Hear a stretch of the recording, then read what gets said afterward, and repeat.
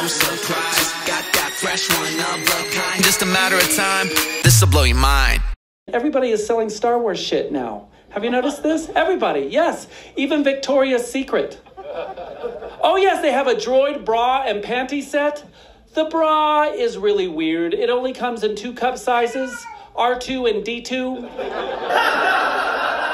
Boom. I was married once. I was married to a school teacher. I used to write her poetry and she'd correct it and give it back to me. What is that all about? I think it's because I'm so afraid of turning into my mother. I'm turning into my father.